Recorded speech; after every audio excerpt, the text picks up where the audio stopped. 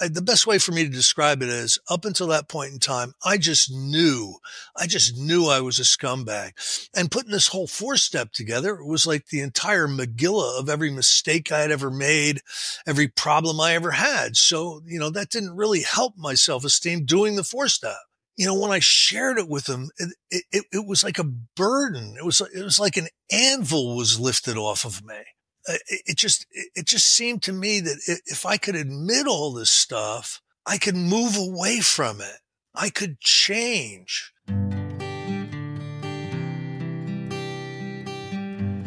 Well, hello, friends of Bill W. and other friends. You have landed on Sober Speak my name is John M.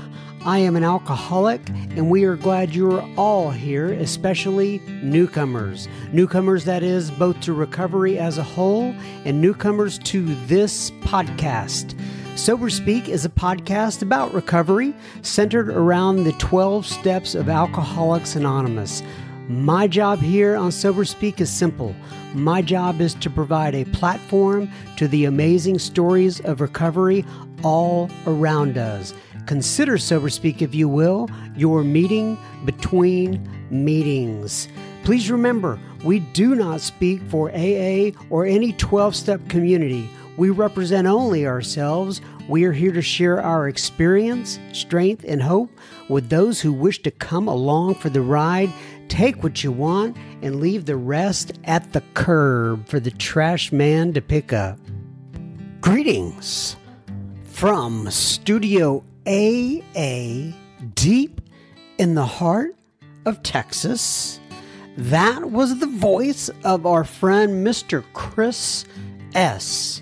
that you heard at the beginning of this here episode number 346 of Sober Speak, and you are going to hear so much more from him in just a moment. But first things first, this here episode is made possible by Dave. What you may ask did Dave do? Well, he ventured to our humble little uh, website, www.soberspeak.com com, scrolled down to the bottom of the page and found the little yellow donate tab to make a, a contribution. So thank you so much, Dave. This here episode is coming right out to you. We are going to get right into Mr. Chris S. today. Uh, Chris S. This is one is called Step five of Alcoholics Anonymous. Chris is from Blairstown, New Jersey, and he is back with us again. We always love having Chris at the microphone. Uh, Chris, Chris recently celebrated 30, not Chris, Chris recently celebrated 34 years in Alcoholics Anonymous, and we take a deep step into all that is step five of AA. Um, we discuss the range of experiences that people have with the fifth step. Uh, as we know, it's not the same for everyone. Uh, which is uh, Chris discusses the the promises of the fifth step on page 75, the principle of uncover, discover, and discard. And he references once again his sponsors, which I love uh, the names he has for not only his sponsors, but so uh, many of the people around him. Uh, two of his sponsors are Fish Food Phil and his current sponsor, Spiritual Brad, is what he calls him. Um, Brad has been on the podcast a couple times. That's Brad L. For those of you who have uh, heard him before. But anyway, Without further ado, ladies and gentlemen, I present to you Mr. Chris S. regarding step five, and we will have plenty of listener feedback at the end of this here episode. Enjoy. Okay, everybody, so we are back at the microphone here on Sober Speak with the one and only Mr. Chris S. Drinking his soda pop there? Is that what what are you drinking, Chris? So, so it's it's uh it's Coke Zero, uh, no caffeine, no uh, uh, no sugar. Oh well, what's the use of it if it doesn't have caffeine or sugar? I, am not a soda guy, but okay, whatever. We'll we'll just go past that. anyway, Chris, why don't you go ahead, introduce yourself, give your sobriety date if you wish, and tell people where you live, please. Sure, sure. Uh, my name's Chris. I am an alcoholic. I'm a member uh, in good standing of Alcoholics Anonymous. I just celebrated 34 years last month, and I live in a, a little town called Blairstown, New Jersey. Blairstown. We've talked about this before. There, it's famous for the uh, like some movie. Which movie is Friday, Friday the Thirteenth movie was filmed there. So so they have like Friday the Thirteenth day, and everybody brings meat cleavers. It's uh, it's it's really something to see. Oh, that's great. Okay, well, since I talked to you last, I know that um you went to Cal. You've probably been to other places, but I know for sure that you went to California because, I, like, Bill C had like some sort of uh, workshop or something out there. Tell me about that and what you were doing out there. What an experience that was! That was the Hermosa Beach Men's Stag Retreat. So, so in Southern California, there's a lot of men's meetings with hundreds of members, right? And they'll, ha- and, and, some of them will have retreats. And we had this retreat up at this center, uh, in Malibu, overlooking the water and the mountains. It, it, and it, it was crazy. I did it with my friend from, uh, my, my friend from, uh, Aspen, Colorado, Jack W. And we, we got to talk the whole weekend and very few people even walked out. So, so it was, you know, it was, it was pretty, but what an experience that was. I, I you know, I got to see my sponsor, Brad, who you know, right? Mm-hmm. He lives in Santa Monica. I, I, I stayed with him a night and then, uh, went up to, to Malibu to do this retreat. It was just, if there's anybody out there that's never done retreats or never gone to convention weekends or something, just give it a try. Uh, it, it's something that really, really adds a lot of value to my life, these things.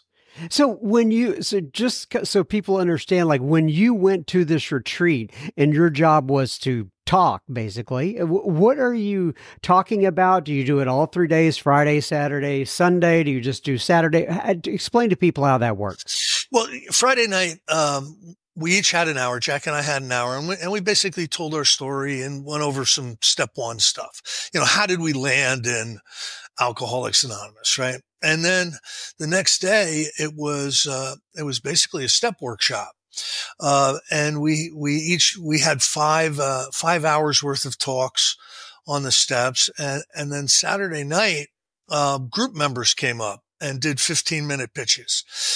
And, and then on Sunday, we finished it up with, uh, with two talks each. And, um, it was, it was remarkable. I, you know, if you would have told me in, in the 1980s that, that a group of people would sit there and listen to me talk without interrupting for a whole weekend. I just, I just wouldn't have, I wouldn't have believed something like that is, is, is possible you, know, but, uh, but this thing called, this thing called recovery has, has gotten me excited and I've paid, I've paid pretty close attention to, uh, to, to the details.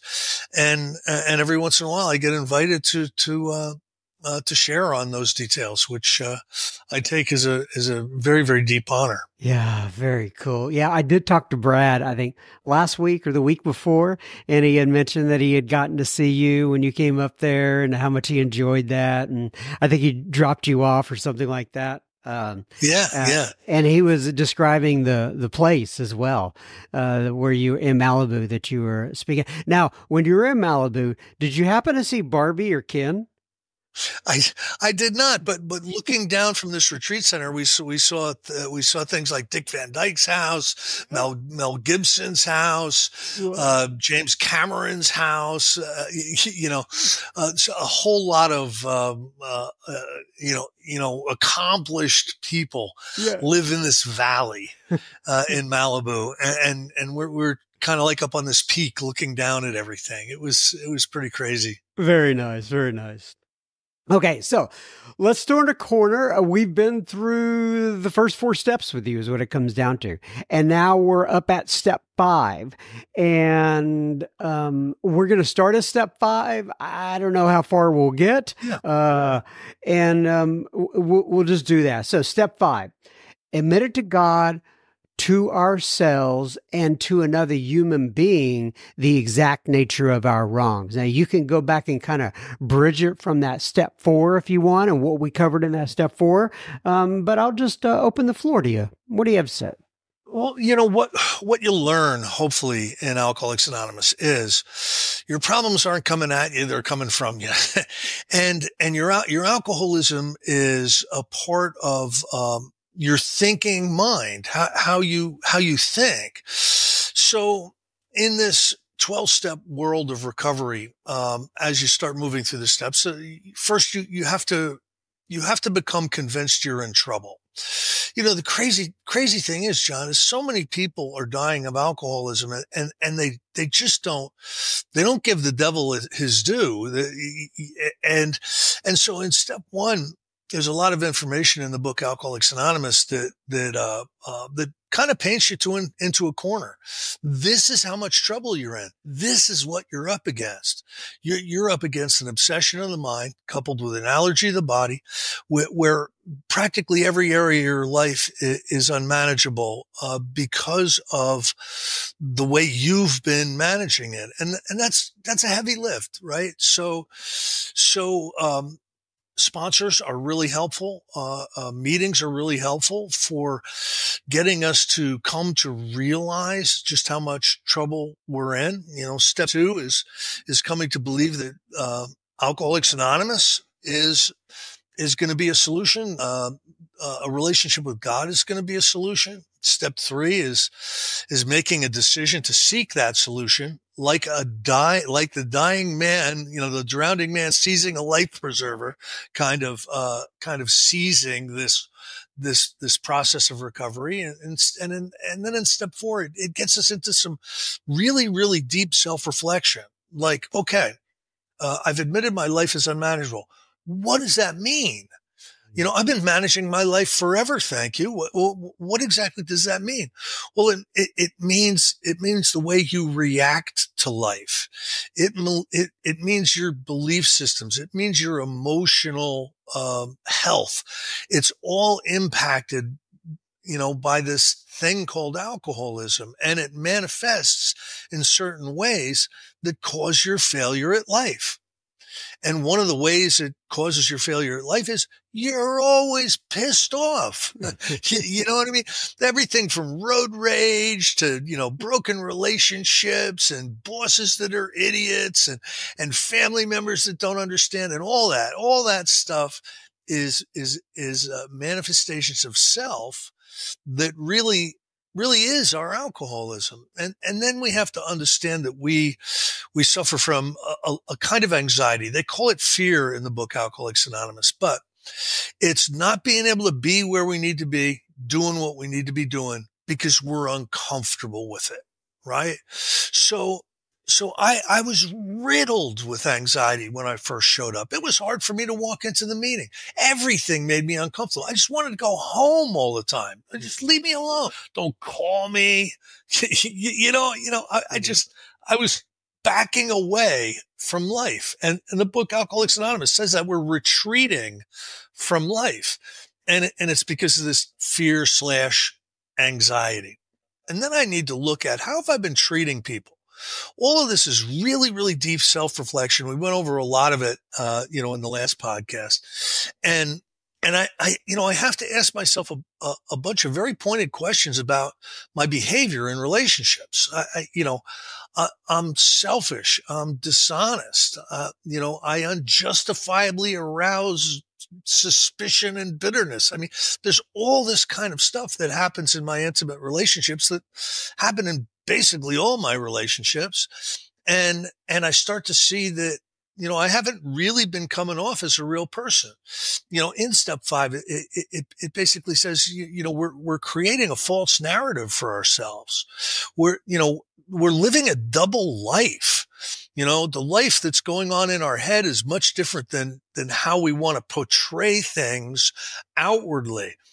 And, and all of this is part of, uh, part of our alcoholism. It's why we, it's why we look for, um, anesthesia of one kind or another, whether it's drugs or alcohol. We look for that anesthesia because living this way, living in, a, in an unmanageable life that, that's prey to misery and depression and anxiety and resentment and fear, living in that kind of a life is so uncomfortable that, you know, we, you know, we, we have reached out for alcohol or for drugs time and time again, just, just to get some peace. Uh, and, and what this recovery process is, is about uncovering, discovering, and discarding.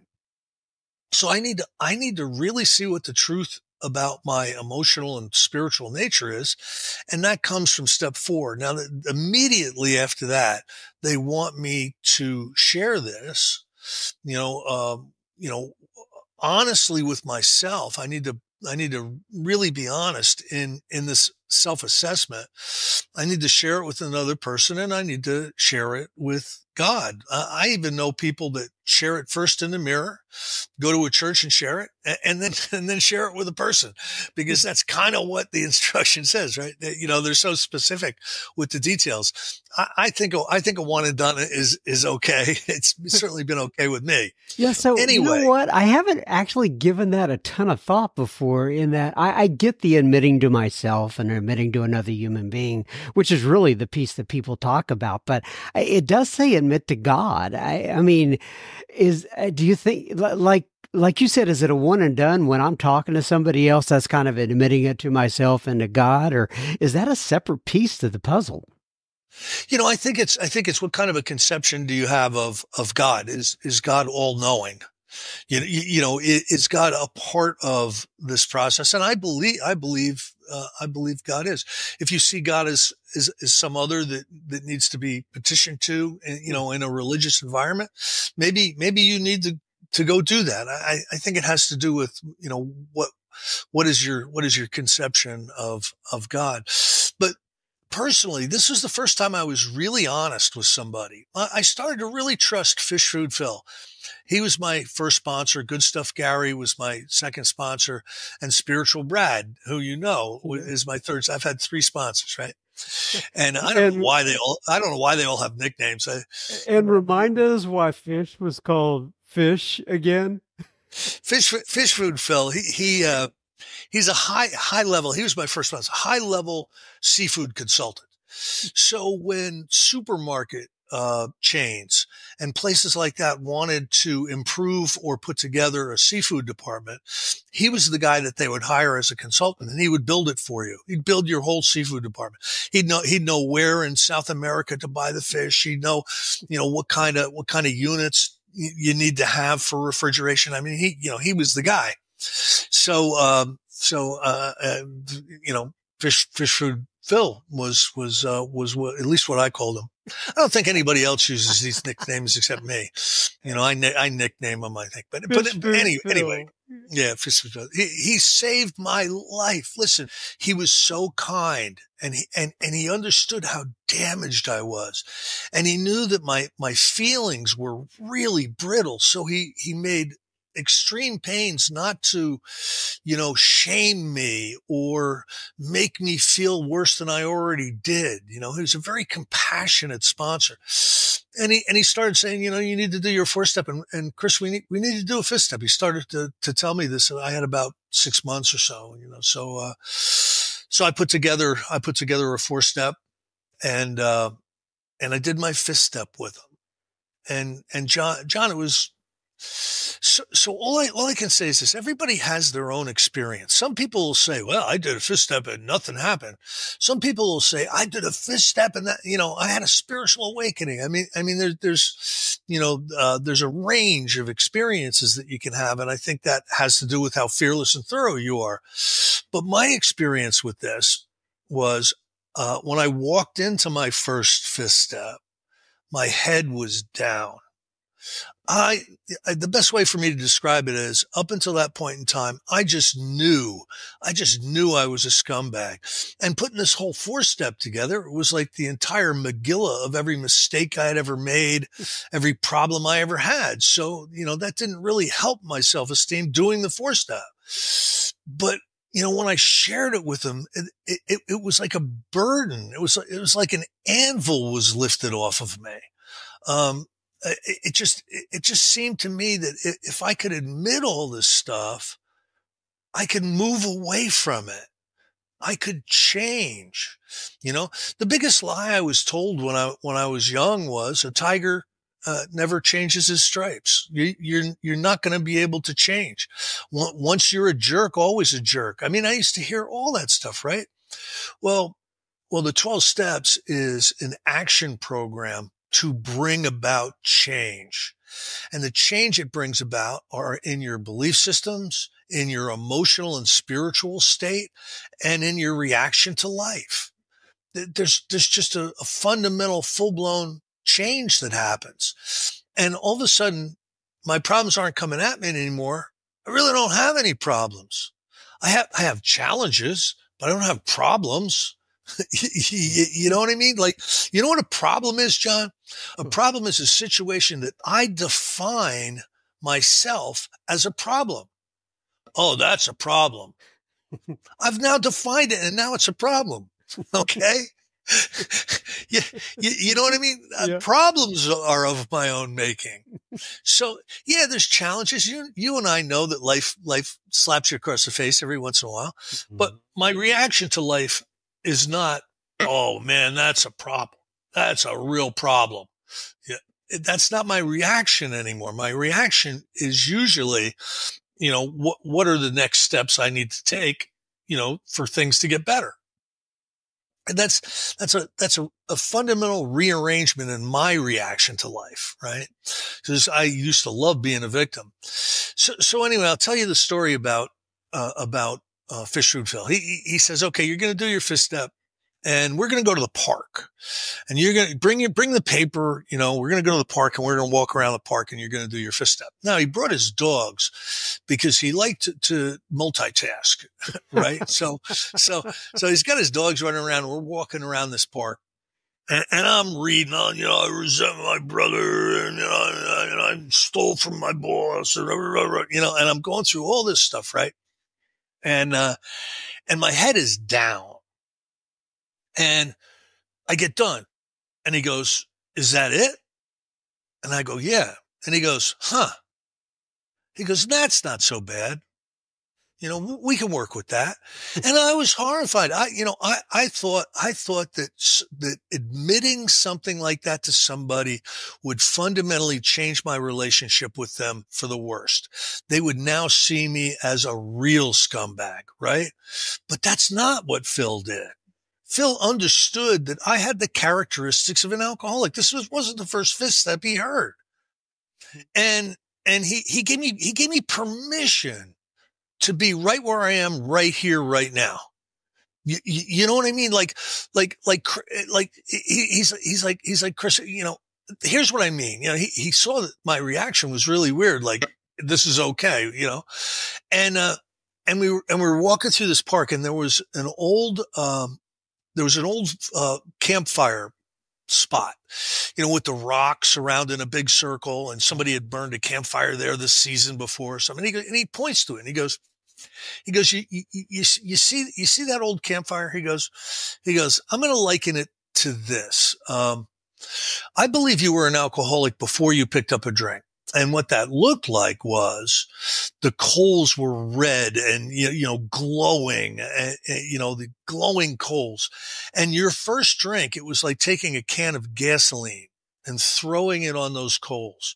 And what happened was the flames just, just, you know, went up into the air. They burned you and they burned anybody that you had near you. But he goes, but he goes, but he goes, Chris, listen, you've just made a serious effort at change. You've made a serious effort at becoming a better person. You know, it's time to start lightening up on yourself. And when I walked out of that park, John, my head, I'm not saying my head was held high, but I was able to look you straight in the eye. You know what I mean? It wasn't bowed down anymore. And that was a significant experience I had in my, in my first fist. I've done about seven or eight of them over the years because, because I, I believe that, you know, I'm, I'm not great at doing step 10 and 11. I'm not perfect at it and things will slip by. And every once in a while, a house cleaning is in order. Um, and I'll do another f- four and five. Um, and how I, how I recognize that a house cleaning is, is, uh, is needed is I start to get cranky do, do you know what I mean? Oh like yeah. Things start to bug me. People start to bug me. Traffic starts to bug me. My boss starts to bug me. And, and, and that's, that's the warning sign for, Hey, you know, it's time to, uh, it's time to renew, uh, your experience with step four and five. So I'm looking for it right now uh, I think it's on page 76. There are what they call the, or what is referred to as the fifth step promises. Uh, and I was going to read this part because I love them so much. Um, if I can find them, do you know where that is? What page is that? 70. Yeah, it's, it's like 75. Um, Sorry, folks, while we uh, struggle for this. So we so here here's the instruction for step five the spiritual life is, is is a life of economy okay i always thought i needed to be reading the course in miracles or you know doing you know in-depth spiritual zen studies or something well, well what bill wilson has given us is something so incredibly simple listen to these instructions and right after the instructions are the promises he says we pocket our pride and go to it illuminating every twist of character, every dark cranny of the, of the past. That, that's the instruction, right? Mm-hmm. And then it says, once we have taken this step withholding nothing, we are delighted. We can look the world in the eye, which is exactly what happened in May. We can be alone at perfect peace and ease. That was a specifically wonderful promise for me because I couldn't stand to be by myself. I would come home. Now I couldn't have anybody near me, John, because I was such a, a raging drunk, but, but I couldn't just sit still and quiet. I, I, would I would come home with the bottle of bourbon. I'd pour out the bourbon. I'd turn on the TV. I'd turn on the stereo. I'd be I'd be I'd be practicing uh, guitar scales. I'd be reading a book. You, you, all at the same time, right. just just to try to escape me. You know, so so being alone at perfect peace, I love doing one thing. You know what that is? What? Nothing. uh, you, you, ever just sit on the couch yeah. and sp- stare into space? You just yeah. do. Listen, there's something. There's there's spiritual virtue in nothing. you, you, know, I'm not saying the lazy kind of nothing, you know, but I, but I mean, just, just taking the, taking time out and, and settling way down and, and, being alone at perfect peace and ease is an incredible promise our fears fall from us. So that anxiety that I was telling you about that, that made almost everything hard for me to do, uh, started to fall off me. It didn't disappear. I just started to be able to do more and more things that I should be doing without feeling, you know, toxically uncomfortable. Uh, we begin to feel the nearness of our creator. Uh, we may have had certain spiritual beliefs, but now we, we begin to have a spiritual experience. So our spiritual experience begins with step five, right? And, and this is at least, you know, if you're, if you're a big book person, you know, that's basically what it says. And, and it certainly happened with me. I came out of that park a different person. You know, I didn't even know it at the time. But if I look back on my life as stages of Chris's life, I jumped a stage after I did that fifth step and I was in a different stage of life. Not you know, Chris, there's a lot of, and you hear this all the time as well. A lot of people come into the room and they'll say that they they felt part of once they did the fifth step. It's not like anybody had shoved them away. And, and I think what they're starting to say is what you just read there is that they, but now we have begun to have a spiritual experience. I think that's what happens with internally within people. They feel more connected. They feel like they're on their way to their own spiritual experience and they're going to be able to uh, dive into that further. Yeah, it, says uh, the feeling that the drink problem has disappeared will often come strongly. And I knew by the time I did a fifth step, I wasn't drinking today or tomorrow. You, you, you know, I knew that. Um, we feel that we're on the broad highway walking hand in hand with the spirit of the universe. Now, Bill uses a lot of fluffy language. Okay. he was a, he was a lawyer and he never outgrew that. Even in some of his, some of his last writings, he was, he was fluffy and verbose, right? Yeah. The broad highway walking hand in hand with the universe, you know, whatever. Uh, how, you know, how I see that is, uh, I'm starting to live a spiritual life. And a spiritual life is different than a life based on toxic self awareness, mm. which is how I lived as an alcoholic with that toxic self awareness. So, so I'm starting to recognize that there are people I can help. Um, I make it a part of my feet moving to help other people. It's not even, it's not an agenda. It's not, you know, it's not a list that I check off. It's, it's just part of my operational methodology to, to help people. Um, I went into work today and I didn't even have to go in. I just wanted to make sure everything was okay. That's just like normal for me, right? Um, the neighbors next door weren't feeling really good. I went and got them uh, uh both a COVID test. I, that's just kind of what I did today. And, and so much of my active hours are not just about me. They always used to just be about me. So, so much of my activity today is, is about others. And that happened organically. It wasn't, it wasn't like I, you know, I, I, I want to, I want to be, you know, Dudley Do Right or anything. it was just more of an organic shift in, uh, in, in, you know, how I, how I approached life.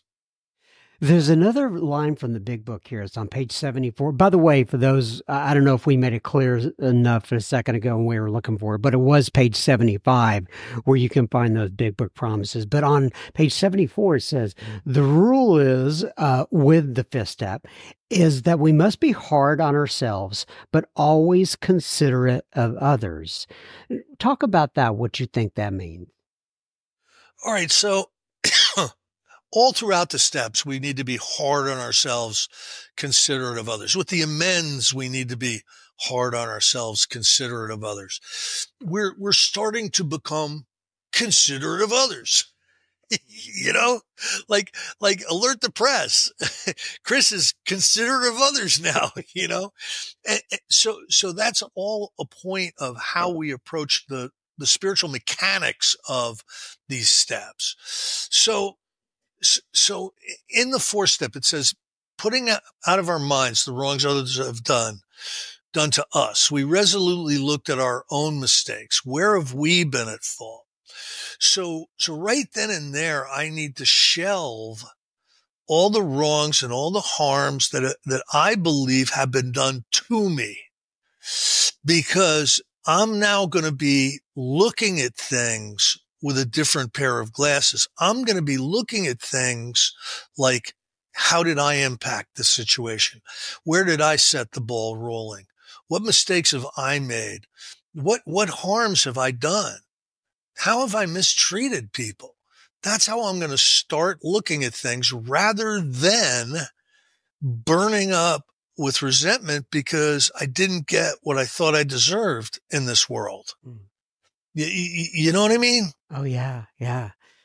And um, so if you were to kind of like uh, like put a bow on this now like in terms of the fifth step what you think about the fifth step why it's important i know you've talked about a lot of that already but there are a lot of people out there uh, who well first of all they they, they there's a lot of people who listen to this podcast who have never been through the 12 steps at all Right. Yeah. There's a lot of people who I'm sure are going to be listening to this. They're kind of stuck at the fourth step and the fifth step and they're hemming and hawing and they're thinking about, you know, what you know, do I really want to subject myself to this? And, you know, I, I like you have taken a, many steps. They're all the same, but there is something internally within us that just kind of holds us back from not wanting to move forward sometimes and get this work done. And I don't know if there's any, I, I don't know how to get them over the hump. All I know is that, you know, when we go to meetings, we sure experience strength and hope. So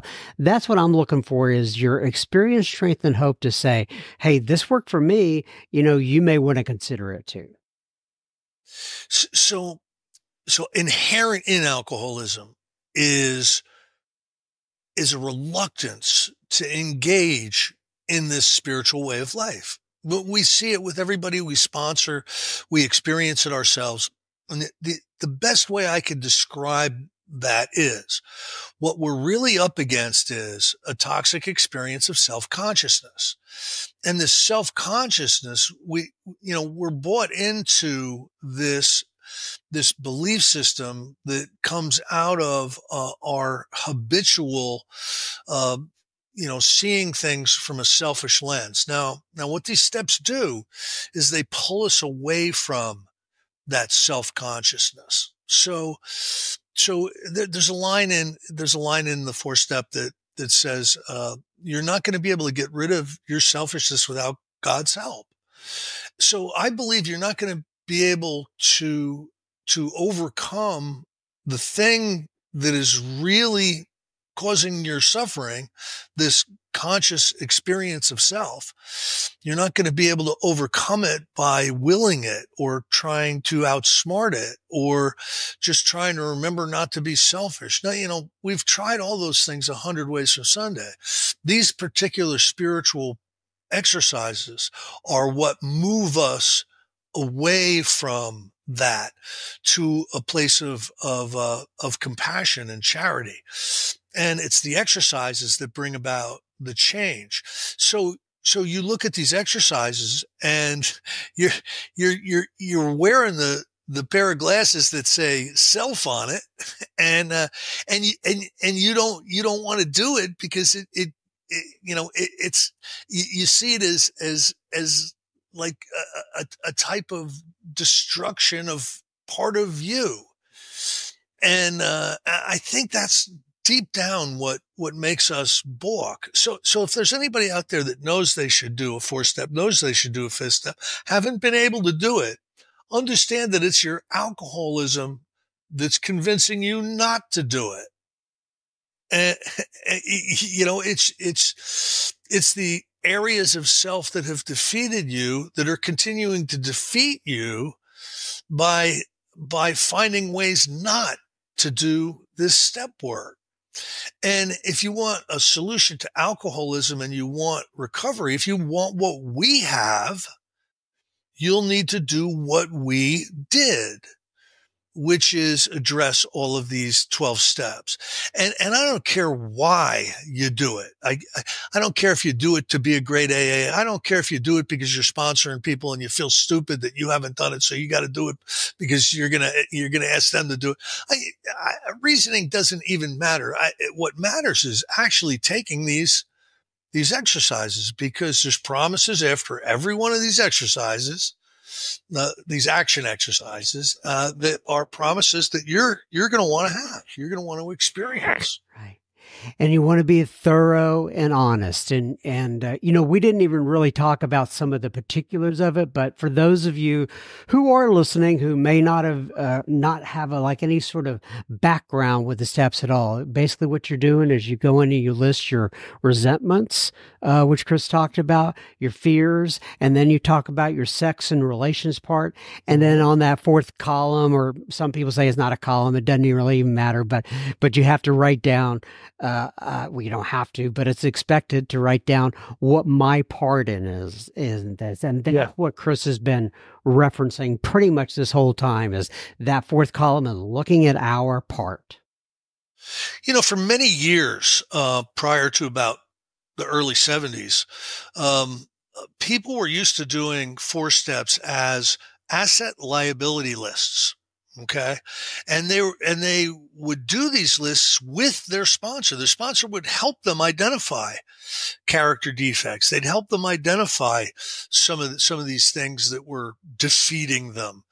And, and, uh, and it was only until, you know, the Joe and Charlie's and, and, and people like that that came along that said, Hey, why don't we actually do it, you know, according to the way Bill put it in this book?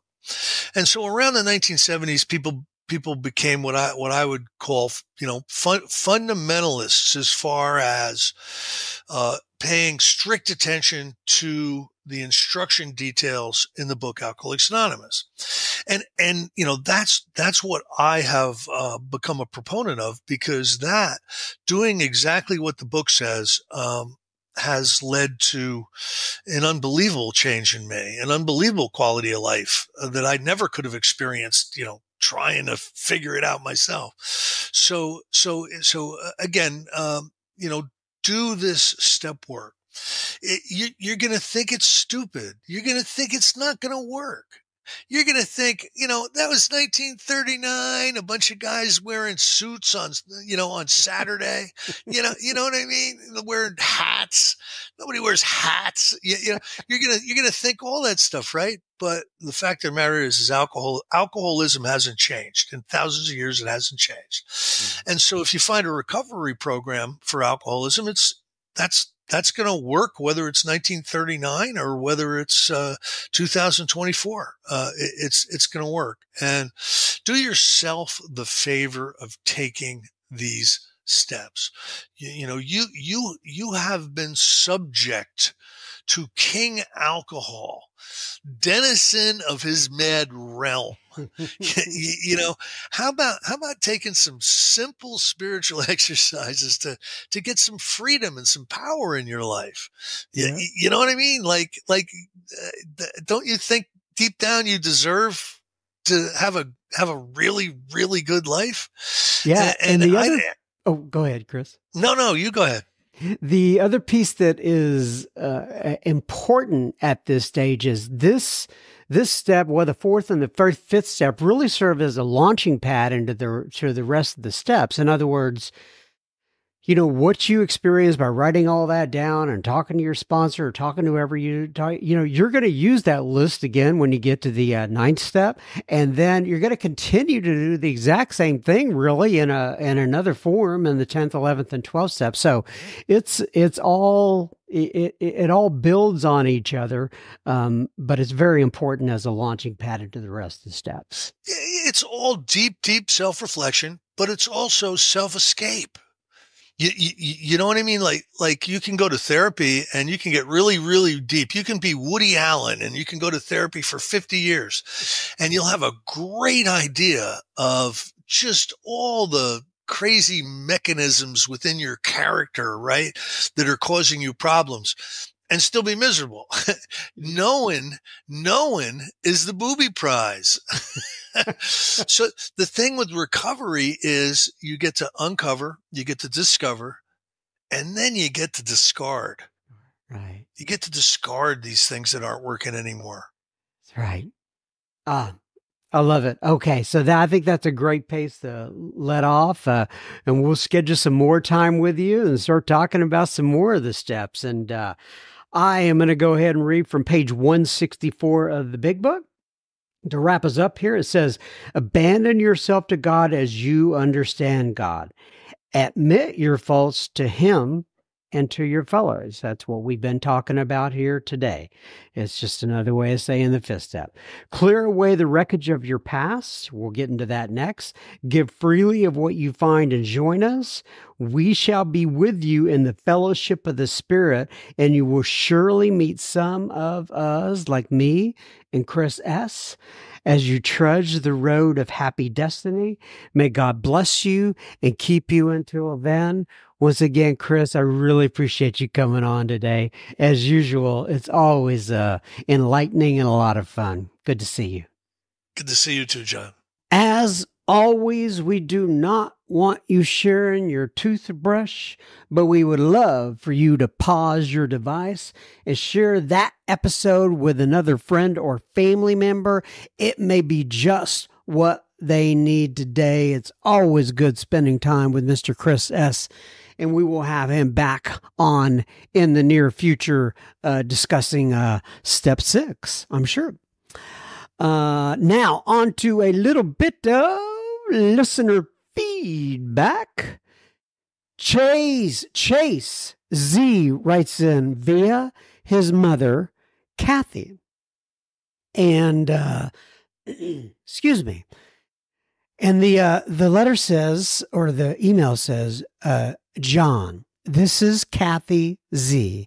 I am sending this to you on behalf of her son, Chase Z, who is incarcerated in the Buster Cole unit in Bonham, Texas. And the, the email says, John, my name is Chase Z. I am currently incarcerated in the Texas Department of Criminal Justice. I wanted to send you a brief email through a loved one, his mother, on the outside to express my gratitude for your podcast, Sober Speak.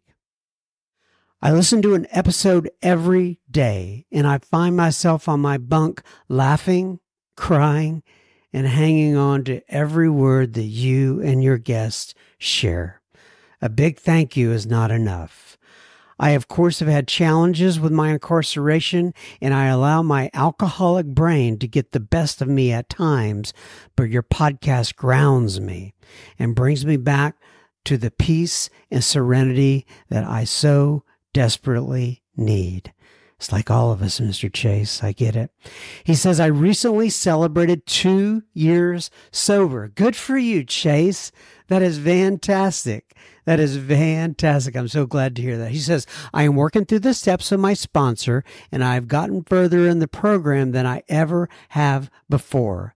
I know in all my heart that there is a success and a better life for me through the steps of AA, uh, through the steps and in the AA rooms.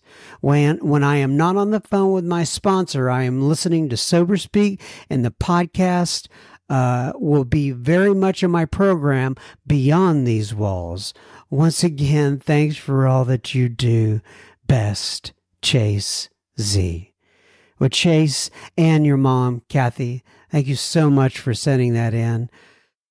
Uh, you know, um, every once in a while I get one of these days where I'm thinking of myself a lot. And as you say, Chase, uh, my alcoholic brain takes over. And, uh, but then I get notes like this and it it it redirects my day and it gets me focused on doing the next right thing and i'm i'm so glad that you wrote in chase uh, keep us posted thank you very much Anthony writes in and Anthony says, Hi, John. I am in current long, I'm in a current I'm currently in a long term treatment program. I have one month clean as of yesterday. Good for you, Anthony. He says, I'm struggling with self guilt right now and hopelessness about seeing my son ever again. I've done a lot of damage. It really destroyed my marriage. I'm now divorced. A friend of mine here at the rehab told me about your podcast, and he has listened to over 600 stories twice over, and it really helped him stay clean. I have listened to the story with the woman who put money in a coffee can to save up for the Harley bike. Very inspirational. Thank you. I think that was Deb H, but I'm not completely sure. Well, Anthony, um, there's very few people, and you'll hear this all the time, that come into Alcoholics Anonymous uh, or any sort of 12 step program on a winning streak. Uh, and there's a lot of self guilt and a lot of hopelessness, uh, and marriages are destroyed, and sons are, you know, taken away, children are taken away. But I can also tell you that I've witnessed hundreds, thousands, I, I, I don't, I don't even know how many times uh, um, their fortunes change. Maybe fortunes change isn't the way to phrase it, but uh, I've seen people come in, they put in the work. Uh, as uh, it gets said in our group a lot, and and, and I, I don't know if this is all over the nation or not, but in our group uh, we like to say, uh, and I and a gentleman named Tim F actually made this popular in our group uh, and some other people, but they always say, if the house is on fire, paint the fence. In other words, it may not make a lot of sense, but just keep doing what you're told mm, to a degree, right? Uh, and uh, work the steps, do what they say to do, and watch things change around you. And I don't know how it works, but I know it does work. Thanks for writing in, Anthony. Lisa writes in and she says, Good afternoon, John. It makes me think of that. Remember that uh, good afternoon, Vietnam. no, not good morning, Vietnam. The whole Robin Williams uh, movie. But anyway, good afternoon, John. She says, uh, Lisa says, I live in Crystal River, Florida.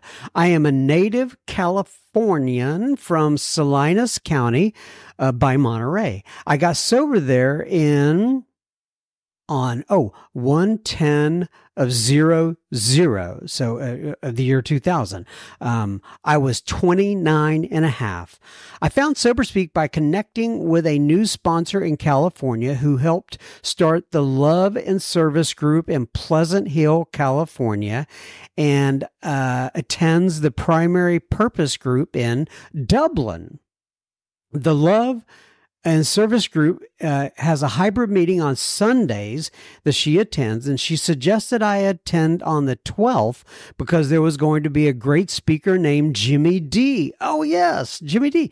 She said, I was curious about him, so I went and Googled or YouTubed his name, and I found him on your platform, SoberSpeak. I proceeded to save five of his recordings in my email. Uh, through your links to listen to them while I was out and about. I saw Jimmy D last night, and it was wonderful seeing him uh, after hearing five talks that you had done with him. I also have listened to Reno John uh, who is also great. And now I'm listening to many others, including Cliff and his wife and the family afterwards.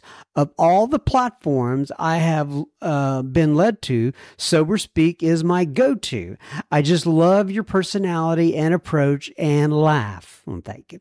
She says, uh, In my years of recovery, I have discovered so many great teachings.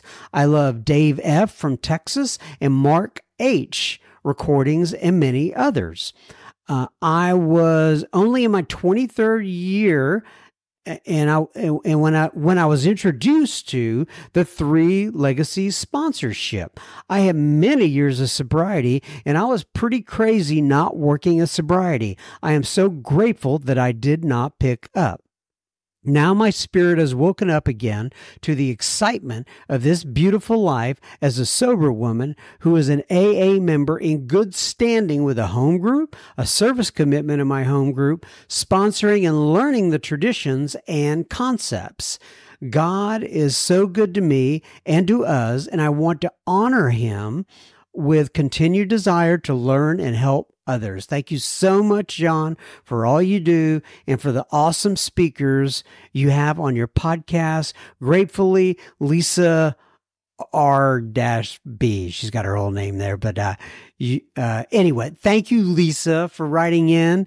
Uh, God bless you, and uh, I am so happy that you let me and uh, our guests be a small part of your journey journey in re- in recovery.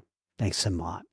Uh, and finally, Alex DMs on the Instagram and he says, Thanks so much, John. I love your podcast. It's a huge part of getting me into it was it oh, it was a huge part of getting me into the rooms. Oh, that's great.